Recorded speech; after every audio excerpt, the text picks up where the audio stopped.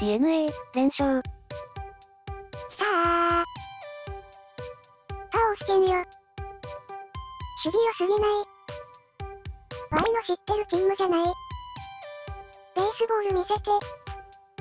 ほなまたドラフトで。横浜に昇華下克上マジでありそうやん。これは4立てやな。三浦の采配が CS 神すぎるんやけど、なぜシーズンでやらない？半分やけくそなのが完璧に決まってる。巨人終わりやね、とゴースガノで試合取れないのは草だよ。もう巨人きつくね。いや明日グリフィン対吉野やぞさすがに勝つやろ。今の流れで勝てる気しない？なんか普通に強いチーム。佐伯高橋、とゴースガノに勝っちゃった。本当にベイスターズか。